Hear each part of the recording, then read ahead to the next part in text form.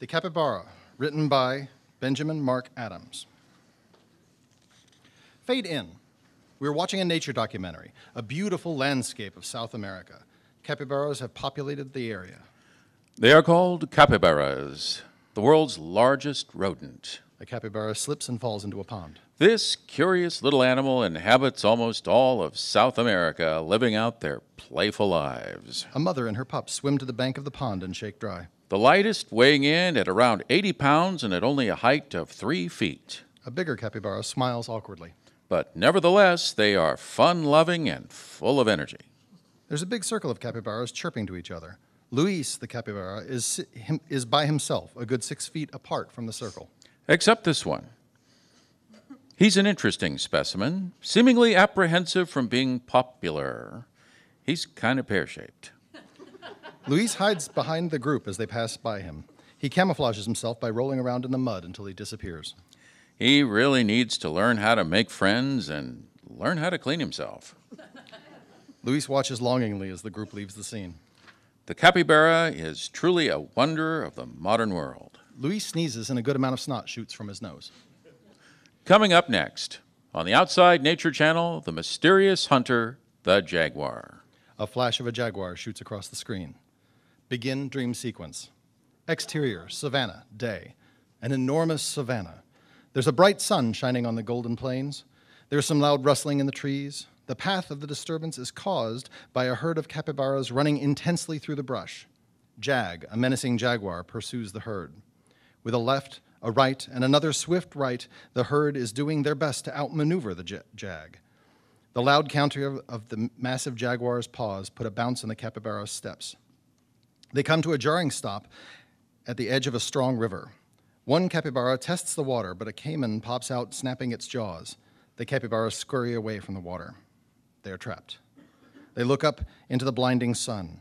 Luis, looking confident, jumps down from his high perch on top of a hill. All of the trapped capybaras see him and revere his strength. Luis jumps from his perch, and his fur flows in the nice afternoon wind, doing an unnecessary yet very cool backflip as he lands. As he runs, he runs in front of the capybara herd and braces for Jag. He flashes the capybaras a confident smile. Jag stops in front of him.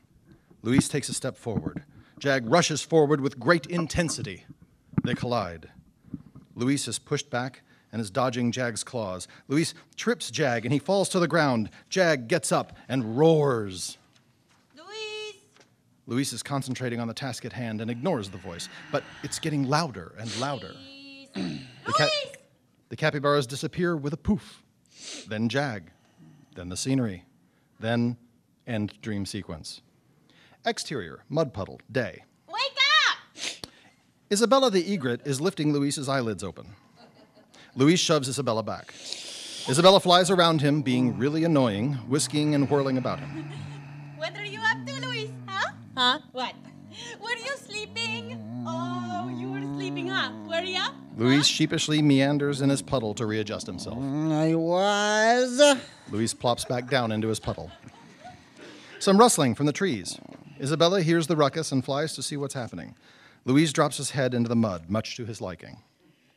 The capybara herd from Luis's dream files in loudly, and Luis dives into the mud just so just his nose is exposed. Gordon, a big capybara, walks right in front of Luis, inspecting him. After a moment, he panics. Luis! Ah, he's dead! Luis rises, and Gordon's surprise makes him lose his footing, and he falls into the mud puddle. Get out of my puddle. Luis quickly shoves Gordon onto dry land. He tries to gather more mud to compensate for the mud that was wasted on Gordon. It's just mud, Luis. You're wearing my pillow.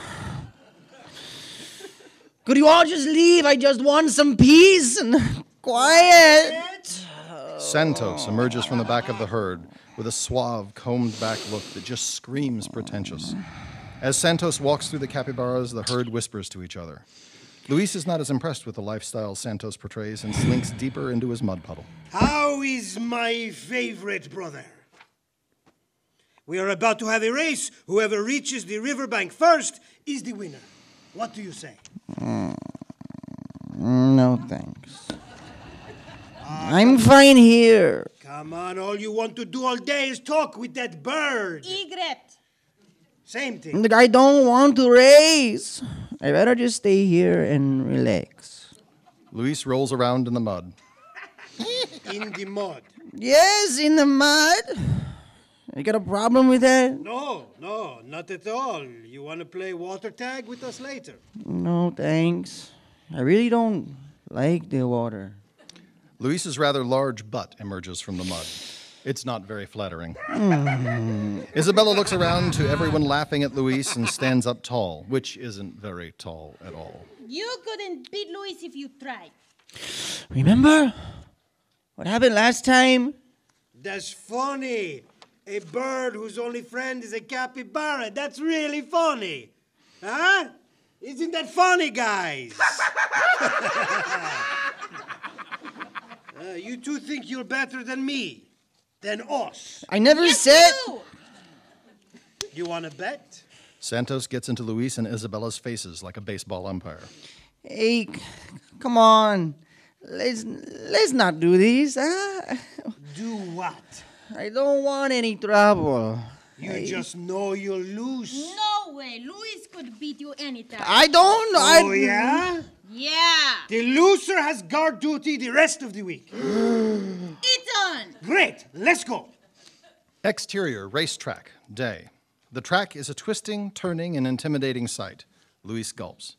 Santos comes up behind Luis and smacks him hard on the back. Ah, impressive, no? Yeah, sure. Ready? Santos gets into a starting position and Luis tries to mirror him. Get set. Santos throws his great big butt into the air. Luis sees Isabella's wing descend in a slow motion, and terror strikes into his eyes. Go. Santos and Luis take off. Luis is not far behind his brother. Moving at top speeds, Luis tries his best to get in front of Santos, but just as he gains some ground, he loses it. Isabella flies to the other side of the racetrack, to the finish line, which is just a pile of broken twigs. Santos looks behind him and flashes a smug smile to Luis. Luis shows determination in his face and pulls ahead of Santos. A smaller river appears in the middle of the brush. Luis stops dead in his tracks while Santos dives in and swims gracefully to the other side. The finish line is in sight just over the stream. Luis frowns, taking a few steps back, and then jumps as far as he can. He barely makes it across with only his back legs touching the water. Santos sees Luis gaining on him. Shocked, Santos looks to the side and sees a massive tree. A nasty smile creeps onto his face. Luis smiles. He might make it this time. Just as he's about to pull ahead for the win, Luis is shoved into the tree by Santos. Santos crosses the finish line with his friends surrounding him with praise. Luis shakes off the hit and Isabella comes to his aid. Santos walks over to him as well. Better luck next time. Have fun in the mud. Santos and his crew walk off, laughing. Luis looks up at Isabella and grumble, grumbles. His arm is cut. The sun begins to set. Exterior, Capybara Pond, sunset. Santos and his crew are still laughing when they run into Cyrus, a strong looking capybara with a red macaw feather in his hair. Santos' crew sees Cyrus and they bow to him. Santos stays face to face with him. Santos, Yeah, Dad, I'm Chief. Is everybody back? It's getting late. Almost everyone. Where's Luis? Check the mud. Santos brushes past Cyrus. Cyrus looks to the group for answers. They all point their heads in the direction they came from. All of you, back to the pond. He's late. Exterior, mud puddle, sunset. Luis is sitting on the edge of his mud puddle, tending to the cut on his arm. You okay? Fine. Ah, you should leave.